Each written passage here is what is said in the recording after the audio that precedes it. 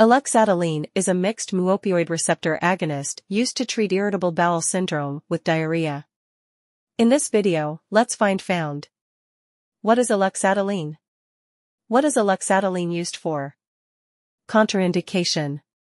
What are the side effects of taking eluxadoline? How does eluxadoline work? How to use eluxadoline? What is eluxadoline?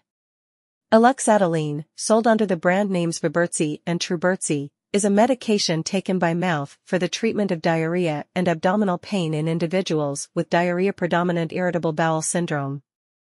It was approved for use in the United States in 2015. The drug originated from Janssen Pharmaceutica and was developed by Actavis. What is eluxadoline used for? For the treatment of irritable bowel syndrome with diarrhea, IBSD. Contraindication. This drug is contraindicated in case of having blockage of the gallbladder or a sphincter of Oddi problem. Problems with excessive alcohol use. Pancreatitis. Liver problems. Chronic or severe constipation. Side effects. Common adverse effects are constipation and nausea, but rates of discontinuation due to constipation were low for both eluxadoline and placebo.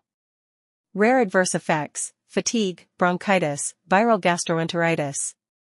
Rare serious adverse effects include pancreatitis, with a general incidence of 0.3% higher incidence with 100 mg dose, 0.3%, than with 75 mg dose, 0.2%.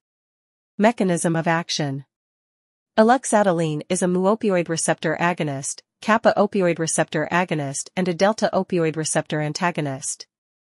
Eluxadoline is used for diarrhea-predominant IBS because it reduces intestinal contractility and normalizes stress-induced acceleration of upper GI trans.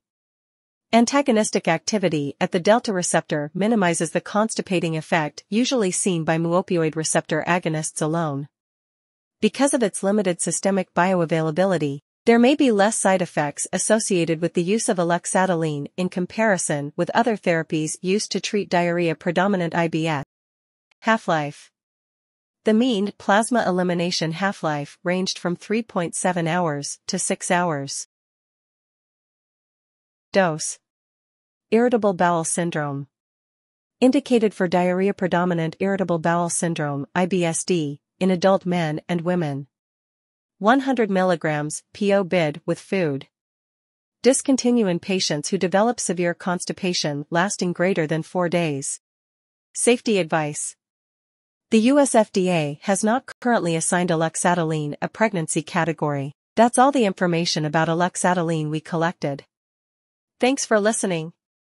Do not forget to like, share, and subscribe for the HeInfo channel if you like this video to update more health information.